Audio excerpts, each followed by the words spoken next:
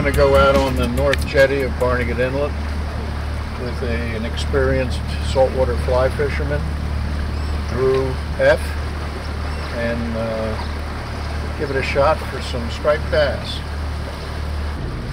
Uh, I guess it's uniqueness. I mean, it's difficultness level. Um, it's just a lot more action on a, you know, on a really lightweight rod. And uh, hopefully you'll see. there are no guarantees. Never. You know? Ever. Probably been fishing over uh, 100 years. 65 years, and I've been a captain for 52. So I've been in this island all my life. My parents raised me in the summers, Harvey Cedars on the water.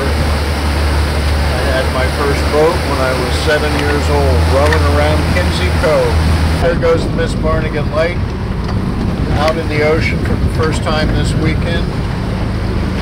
Water temperature's too cold outside for fluke, but they're going to go on the wrecks and the reef sites for uh, sea bass. Give them hell, Jew.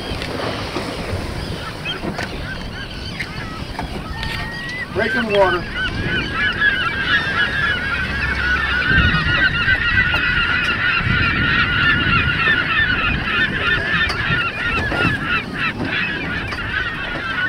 Do, To be Jew, is we'll get, we'll get closer to the monument and work the monument and then strike on the birds when they're close.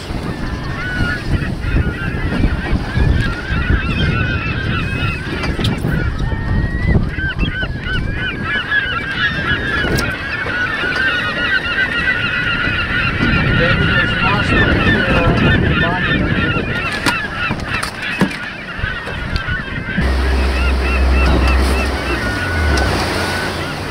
Round? Huh? You want to go around? Hell no. I'm trying to get him on What about right at the tip? What? You got a hit? Oh, tip.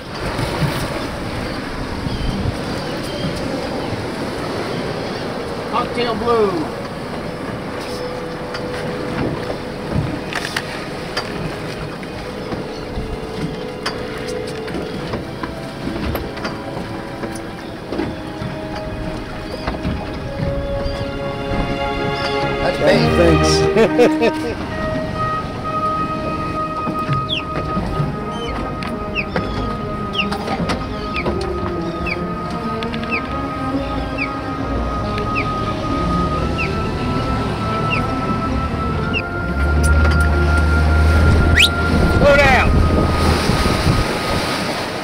Can't cross the bar here. You got to go by the rocks.